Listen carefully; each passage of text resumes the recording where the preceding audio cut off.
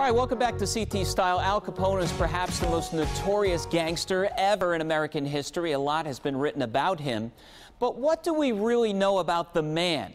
The book, Capone, His Life, Legacy, and Legend, aims to set us straight.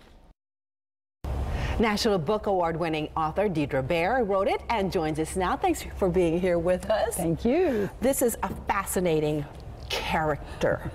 now, you write that you were actually approached by family members to write the book. So, why did you decide to do it?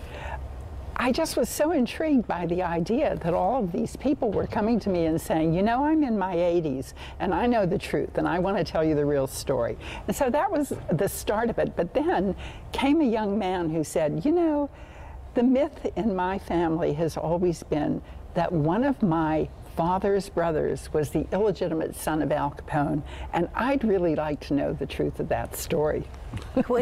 Al, there's so many many books have been written about Al Capone, yes. movies made about yes. Al Capone.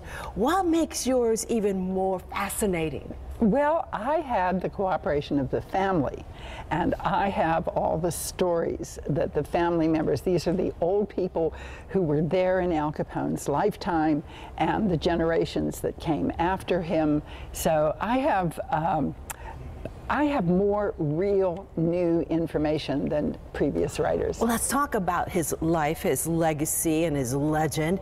He truly is an, an enigma, is what, how you describe yes. this man. Yes. And so, what kind of um, myths did you dispel?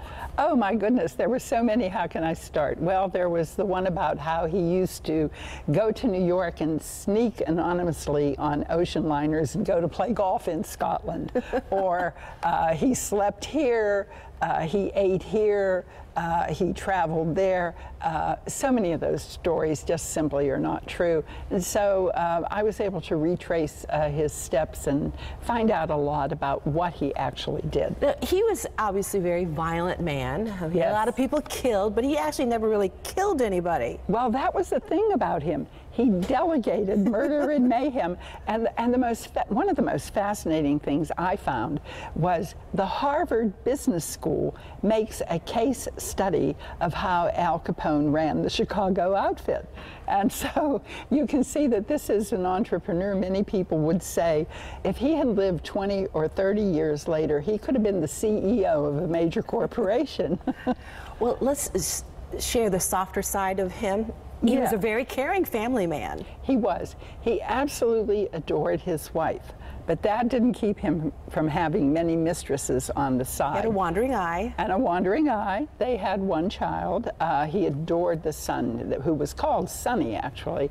Sonny had four daughters, and they are now uh, older women, and uh, I had the, the honor of speaking to them.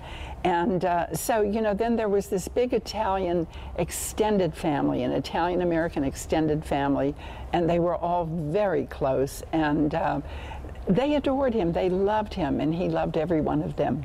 Well, the book again is Capone, His Life, Legacy, and Legend, and you're heading out to Chicago next week. Oh, I am, and I've got a full week of uh, promoting the book, which is uh, very nice. I'm happy about that. Deirdre Bair, thank you so much for joining us. Oh, thank you.